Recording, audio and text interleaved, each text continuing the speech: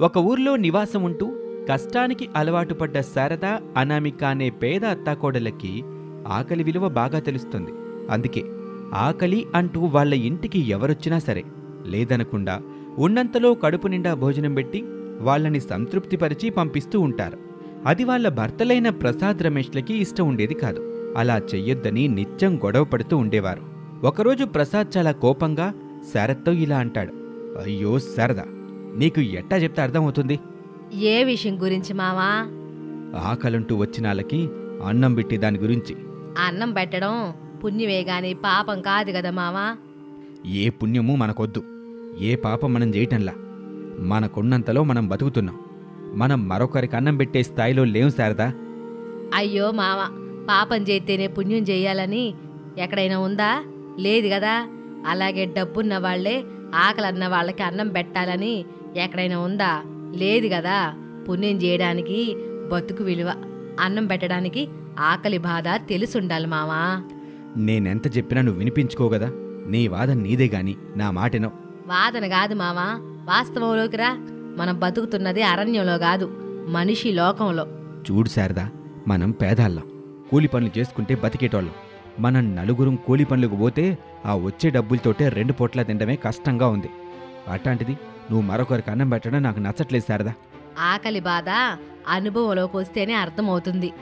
నువ్వేమైనా అనుకో శారదా. వందని ఒకరికి పెట్టి ఆ తర్వాత అయ్యో అనే దానికంటే పెట్టకుండా ఉండడమే మంచిది. అది తప్పండి. ఇలా అంటున్న భర్తతో వాదన చేస్తూ గొడవ పడుతూ ఉంటుంది శారద. ఇక భర్త ఏమన్నా సరే ఏమీ మాట్లాడకుండా ఉండిపోతుంది. మళ్ళీ కాసేపటికి ప్రసాద్ కల్పించుకొని శారద నేను కొడుకు ఇద్దరం పని మీద దూరం వెళ్తున్నాం. వారం రోజులు బట్టి ద్రాటకి మీ ఇద్దరూ జాగ్రత్తగా ఉండండి అని చెప్పి మరుసటి రోజునే ప్రసాద్ రమేష్ ఇద్దరూ కలిసి పని మీద దూరం వెళ్తారు. అలా రోజులు గడుస్తూ ఉంటాయి. ఆ రోజు కూడా ఒక అతనికి అన్నం పెడతారు అత్తాకోడళ్ళు అతను బాగా ఆకలి మీద ఉన్నట్టున్నాడు. గబగబా అన్నం తింటూ ఉంటాడు. బాబు నెమ్మదే నెమ్మదిగా తిను. ఇక్కడ నిన్ను ఎవరో ఏమీ అనరు. మీరు అంటారని కాదమ్మా. నేను గబగబా తింటుంది. ఆకలి బాధను తట్టుకోలేక నాలుగు రోజులుగా అన్నం లేక అల్లాడుతున్నాను. అంటూ కన్నీళ్ళు పెట్టుకుంటాడు ఆ వచ్చిన వ్యక్తి. ఆ మాట వినగానే అత్తాకోడలకి కళ్ళ వెంట కన్నీళ్ళు వస్తాయి వాళ్ళకి బాధేస్తుంది. చూడన్నా కడుపు నిండా తిను. నీవెంత తినాలనుకుంటే అంతా తిను. కంగారేం లేదు. మొహమాటం అసలే పడకో. నన్ను నీ చెల్లనుకో. చెల్లిని చూడ్డానికి వచ్చిన అన్నలా సంతృప్తిగా తిను. కోడలా మరింత అన్నం వడ్డించు. చాలమ్మా చాలు. మీరు పెట్టిన అన్నానికి కడుపు నిండింది. చూపించిన ప్రేమకి మనసు నిండింది.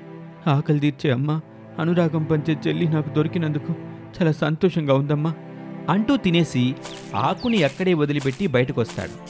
ఇంటి ముందున్న బావి దగ్గర చేతులు గడుక్కొని మనసారా అత్తాకోడలికి నమస్కారం పెట్టి అక్కడి నుంచి వెళ్ళిపోతాడు. అత్తాకోడలు తృప్తిగా బయట అరుగు మీద కూర్చుంటారు. పాతిక కిలోమీటర్ల దూరంలో పనుందని నాలుగు రోజుల క్రితం వెళ్ళిన తమ భర్తల్ని దలుచుకుంటూ ఉంటారు. తండ్రి కొడుకులు ఎలాగున్నారో ఏమో. అని అనుకుంటూ ఉండగానే ప్రసాద్ రమేష్ ఇద్దరు ఇంటికొస్తారు. వాళ్ళని చూసి అత్తాకోడళ్ళు సంతోషపడతారు. క్షేమ సమాచారాలు మాట్లాడుకున్న తర్వాత ప్రసాద్ ఇలా అంటాడు. శారదా మీ అత్తాకోడలు ముందుగా మా తండ్రి కొడుకులిద్దరినీ మన్నించాలి. అవునమ్మా నేను నాన్న మీరిద్దరూ చేస్తున్న మంచి పనిని వద్దని ఎంత గొడవ చేసేవాళ్ళం? అయినా మీరు ఏమాత్రం మానకుండా ఆ పనిని కొనసాగిస్తున్నారు. ఏమైంది మీకు? ఎందుకు ఇలా మాట్లాడుతున్నారండి? ఆకలి విలువ తెలిసింది శారదా. ఇక్కడ మీరు ఆకలంటూ వచ్చిన వారికి మనకున్నంతలోనే అన్నం పెట్టి పుణ్యం మూట కట్టుకున్నట్టుగానే మేం పనికెళ్ళిన చోట కూడా ఒక పెద్దావిడ ఇలాగే అన్నం పెట్టి మా ఆకలి తీర్చిందమ్మా. లేదంటే ఆకలితో ఆ రోజు తను జాలించే వాళ్ళం శారద. ఆ మాట విని కంగారు పడుతూ శారద ఇలా అంటుంది. ఏం జరిగిందో క్లుప్తంగా చెప్పండి. అని శారద అడగగానే తండ్రి కొడుకులు ఒకరి తర్వాత ఒకరు వాళ్ళు పనికి వెళ్ళిన చోట జరిగిన ఆకలి పోరాటం గురించి వివరిస్తారు. అదంతా విని శారద అనామిక కన్నీళ్ళు పెట్టుకుంటారు. అన్నం పెట్టిన పెద్దావిడికి మనసారా మనసులోనే కృతజ్ఞతలు చెప్పుకుంటారు అత్తాకోడలిద్దరు కొన్ని రోజుల తర్వాత అత్తాకోడళ్ళు గుమ్మం దగ్గర నిలబడి పదే పదే దారివైపు చూస్తూ ఉంటారు. అది గమనించిన ప్రసాద్ ఇలా అడుగుతాడు. శారద ఏమైంది? పదే పదే దారివైపు చూస్తున్నావు? కొంపదీసి మీ కుంభకర్ణన్న వస్తానని చెప్పాడా ఏంటి? చాలండి. మా అన్నదమ్ములు తలుచుకోపోతే నిద్ర పట్టదా ఏంటి? మరెవరి కోసమే చూస్తున్నారు ఈ అత్తాకోడలు కలిసి? ఈ మధ్య ఒక మహర్షి గారు రోజు ఆకలి అంటూ మన ఇంటికొచ్చి అన్నం తినిపోతున్నాడు మావయ్య. అవునా? మంచిదే కదమ్మా. ఆ మహర్షి రెండు రోజులుగా రావడం లేదండి. ఏమై ఉంటుందా అని ఆలోచన చేస్తున్నాను. ఇప్పుడు కూడా ఈ రోజైనా వస్తాడేమో అని ఆశగా చూస్తున్నాను. అని శారద చెబుతూ ఉండగానే మహర్షి వాళ్ళ దగ్గరికి వస్తాడు అత్తాకోడలిద్దరూ దండం పెడతారు. అంతా మంచి జరుగుతుంది. శారద ఆకలిగా ఉంది. అన్నం పెట్టు తల్లి. అని చెప్పగానే అత్తాకోడలిద్దరూ ఆ మహర్షికి పచ్చని ఆకు వేసి ఉన్నంతలోనే భోజనం పెడతారు. మహర్షి తృప్తిగా తింటాడు. ఆ తర్వాత శారద అనామిక మీరు ఆకలి తీర్చే అత్తాకోడలుగా మంచి సేవ చేస్తున్నారు. అందుకే మీకు నేనొక బాధ్యతని అప్పగించాలి అనుకుంటున్నాను. అయ్యా మహర్షి గారు మీరిష్టంగా మా మీద ప్రేమతో దయతో ఏ బాధ్యత ఇచ్చినా మా ప్రాణాలున్నంత వరకు నిజాయితీగా నిర్వర్తిస్తాం. ఆ బాధ్యతని నా ప్రాణం కంటే ఎక్కువగా చూసుకుంటాం. మరి మీ కుటుంబం మొత్తం వస్తారా? మీ అత్తాకోడళ్ళు మాత్రమే వస్తారా? అయ్యా స్వామిగారు మీరు మాకు ఏం అప్పగిచ్చినా సరే అందరికీ ఒకే దగ్గర ఇవ్వండి స్వామి. మీ పేరు చెప్పుకుంటూ ఆ సేవ చేసుకుంటూ ఈ జీవితం ఇట్టా గడిపేస్తాం. సరే అయితే. మీ నలుగురు నాతో పాటు రండి అని చెప్పగానే తండ్రి కొడుకులు అత్తాకోడళ్ళు నలుగురు వాళ్ళ మూటల్ని సర్దుకొని నెత్తిన పెట్టుకుని ఆ మహర్షి వెనకాలే నడుస్తూ ఉంటారు. అలా నడిచి నడిచి ఒక స్వచ్ఛంద సేవా సంస్థ బిల్డింగ్ దగ్గరికి చేరుకుంటారు. ఇక నుంచి మీరందరూ ఇక్కడే ఉంటూ సేవ చేసుకోండి. ఆకలి తీర్చండి. మీ జన్మల్ని సార్థకత చేసుకోండి అని చెప్పి మహర్షి వెళ్ళిపోతాడు. ఆ రోజు నుంచి తండ్రి కొడుకులు అత్తాకోడళ్ళు ఆ ఆశ్రమంలో పేదవాళ్ళ ఆకలి తీరుస్తూ వాళ్ళ జీవితాన్ని గడిపేస్తూ ఉంటారు. రాత్రి సమయం పదకొండు గంటలవుతుంది. బెడ్ మీద పడుకున్న ప్రసాద్కి దాహంగా ఉండటంతో లేచి హాల్లోకొస్తాడు. ఇంకా అత్తాకోడళ్ళు శారదా అనామిక పడుకోటానికి వెళ్ళకుండా సోఫాలోనే కూర్చుని టీవీ చూస్తూ ఉంటారు. వాళ్ళ దగ్గరికి వస్తాడు ప్రసాద్. శారదా ఇంకా పడుకోకుండా అత్తాకోడలిద్దరు తీరిగ్గా కూర్చొని టీవీ చూస్తున్నారా? నిద్ర రావట్లేదండి. యమ్మా కోళ్ళ? నీకు కూడా నిద్ర రావట్లేదా ఏంటి? వస్తుంది మావయ్య. కాకపోతే అత్తయ్య ఒక్కతే హాల్లో ఉంటుంది కదా అందుకే తోడుగా కూర్చున్నాను. చూడమ్మా కోళ్ళ నువ్వు మీ అత్తయ్య గురించి కంగారు పడమాక. ఒకవేళ ఇంట్లోకి పెద్ద పులి వచ్చిందనుకో మీ అత్తని చూసి ఆ పులే వామ్మో ఎంత పెద్ద ఆడపులి నేను ఎప్పుడు చూడలేదని పారిపోద్ది. ఒకవేళ దెయ్యం వచ్చిందనుకో అది కూడా మీ అత్తయ్యని చూసి పారిపోద్ది. ఎందుకు మావయ్య? పెద్ద దయ్యాన్ని చూసినప్పుడు ఎక్కడైనా పిల్ల దయ్యాలు పారిపోకుండా ఉంటాయా ఏంటి? అంటూ శారద వైపు చూస్తూ నవ్వుతూ ఉంటాడు ప్రసాద్. శారద ముఖం ముడుచుకుంటుంది. అది చూసి నవ్వుకుంటూ వెళ్ళిపోతాడు ప్రసాద్.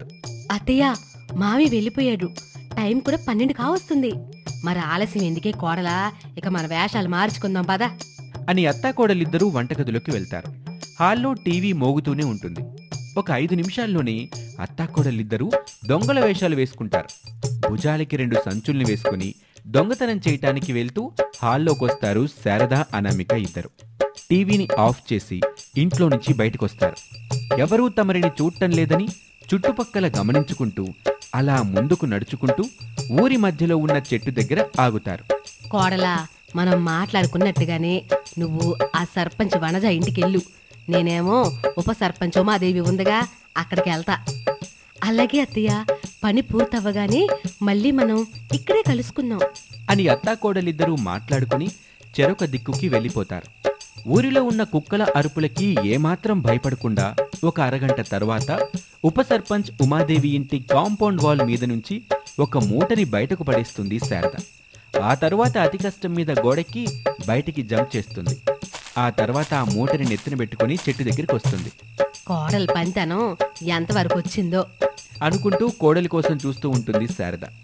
అదే సమయంలో కోడలు అనామిక ఏమాత్రం శబ్దం రాకుండా గేటు తీసుకుని ఇంకో చిన్న మూటని చేతిలో పట్టుకుని చెట్టు దగ్గరికి వస్తుంది. అత్త కోడలిద్దరూ ఆ చెట్టు దగ్గర కలుసుకుంటారు. ఇదేమిటే? సర్పంచ్ ఇంట్లో ఇంత తక్కువ డబ్బులు ఇంతే బంగారం ఉందా? అవునత్తయ్య మనలాంటి దొంగలు వస్తారేమో అన్న భయంతో అన్ని బ్యాంకులో పెట్టుంటాడు. ఆ ఉప సర్పంచ్ ఇల్లే మేలు అనిపించిందిగా. ఇంకా ఇంటికి వెళ్దాం పదండి అత్తయ్య. ఇది సరిపోదే కోడల. ఇంకొక ఇంటిని మనం దోచుకుని వెళ్దాం. ఏ ఇంటిని దోచుకుని వెళ్దామో అది కూడా మీరే చెప్పండి. ఇలా నడుచుకుంటూ వెళితే అక్కడ ఒక ఇల్లుందే. ఆ చివర్లో ఉన్న ఇంటికెళ్తేనే బెటర్ అనిపించింది ఉంటే ఏమైనా డబ్బులు ఉండొచ్చు కదా. మరి ఆలస్యం ఎందుకు పదండి వెళ్దాం. అని అత్తాకోడలిద్దరూ మాట్లాడుకొని పెద్ద మూటని శారద తన నెత్తిన పెట్టుకుంటుంది. అనామిక చిన్న మూటని చేతిలో పట్టుకుంటుంది. అలా అత్తాకోడలిద్దరూ నడుచుకుంటూ వాళ్ళు అనుకున్న ఇంటికి చేరుకుంటారు. తలుపు తెరిచి ఉండటం చూస్తారు. ఇంటి దగ్గరికొచ్చి చూస్తారు. ఇంట్లో ఎవ్వరూ ఉండరు. ఇదే మంచి సమయం అనుకొని అత్తాకోడలిద్దరూ ఆ ఇంట్లోకి వెళ్తారు. అదే వాళ్ళు చేసిన పొరపాటు. ఇంట్లోకి వెళ్ళిన ఆ దొంగ అత్తాకోడలకి ఏమీ కనిపించవు. అది కావేరి అనే పేద ఇల్లాలి ఇల్లు. దాంతో తిరిగి బయటకు వెళ్ళాలి అనుకునేలోపు కావేరి తన ఇద్దరు పిల్లలు భర్త శ్రీకాంత్ ఇంట్లోకొస్తారు. ఇంట్లో ఉన్న దొంగ అత్తాకోడలిని చూస్తారు. అత్తాకోడలికి విషయం అర్థమవుతుంది. అనామిక గుసగుసగా శారత్తో ఇలా అంటుంది. అత్తయ్య ఇప్పుడు వీళ్ళు గనక అరిస్తే ఊరంతా లేచి మనల్ని చాకిరేవిలో బట్టలు ఉతికినట్టు ఉతికేస్తారు అత్తయ్య. నువ్వేం మాట్లాడబాకే కోడలా? నేను వాళ్ళతో మాట్లాడతానుగా. అని వాళ్ళ వైపు చూస్తుంది శారద. మిమ్మల్ని చూస్తుంటే దొంగతనానికి వచ్చినట్టుగా ఉన్నారు. మేము చాలా పేదవాళ్ళం తల్లి. వచ్చే కూలి డబ్బులు బ్రతకడానికి సరిపోవడం లేదని విషం తాగి చచ్చిపోవాలని ఆ పక్కనే ఉన్న పొలానికి వెళ్ళాం. కానీ చూస్తూ కన్నబిడ్డని చంపుకోలేక ఇలా తిరిగొచ్చాం. ఆ మాట వినగానే అత్తాకోడళ్ళ కళ్ళల్లో నుంచి నీళ్ళు కారుతాయి. మీ గురించి మేమెవరికి చెప్పం. మీరు వెళ్ళిపోండి అని చెప్పగానే అత్తాకోడలకి దొంగతనం చేసిన మూటలతో రావాలనిపించలేదు. ఆ రెండు మూటల్ని వాళ్ళకే ఇచ్చేస్తారు. ఇక ముచ్చట్లు పెట్టుకుంటూ ఉంటారు. పూర్తిగా తెల్లారుతుంది. సమయం ఉదయం ఎనిమిదిగా వస్తుంది. తండ్రి కొడుకులు ప్రసాద్ రమేష్ అత్తాకోడల కోసం వెతుకుతూ ఉంటారు. వాళ్ళు ఎక్కడా కనిపించరు. దాంతో తండ్రి కొడుకులు విచారంగా హాల్లోకొచ్చి సోఫాలో కూర్చుంటారు. నాన్నా ఈ అత్తాకోడలు ఎక్కడికి వెళ్ళినట్టు? ఏమో బాబు రాత్రి పదకొండు గంటల దాకా ఇద్దరు టీవీ దగ్గర కూర్చున్నారు. బహుశా అత్తాకోడలిద్దరూ మనకు తెలియకుండా మాట మాట అనుకొని కటీఫ్ అనుకొని ఎవరు పుట్టింటికా వెళ్ళిపోయారా ఏంటి? అబ్బా ఊరుకోనన్నా అలా ఏం జరగదులే. పొద్దున్నే మనల్ని నిద్ర లేపటం ఎందుకని పొలం దగ్గరికి వెళ్ళుంటారు. నేను అట్ట వెళ్ళి పొలం దగ్గర చూసొస్తానులే. ఆగరా నేను కూడా నీతో పడొస్తాను వద్దు నాన్న నువ్వు ఇంటి దగ్గరే ఉండు. ఒకవేళ అత్తాకోడలు ఇద్దరు ఇంటికి వస్తే నాకు ఫోన్ చేయండి. నేను తిరిగి ఇంటికి వచ్చేస్తాను. అలాగే బాబు జాగ్రత్తగా వెళ్ళిరా. అని ప్రసాద్ చెప్పగానే రమేష్ తన బైక్ మీద పొలం దగ్గరికి బయలుదేరతాడు. సోఫాలో కూర్చున్న ప్రసాద్ పదే పదే గుమ్మం వైపు చూస్తూ ఉంటాడు. పొలం దగ్గరికి వెళ్ళిన రమేష్కి అక్కడెక్కడా అత్తాకోడలిద్దరూ కనిపించరు. కొంచెం కంగారుగా అనిపిస్తుంది రమేష్కి.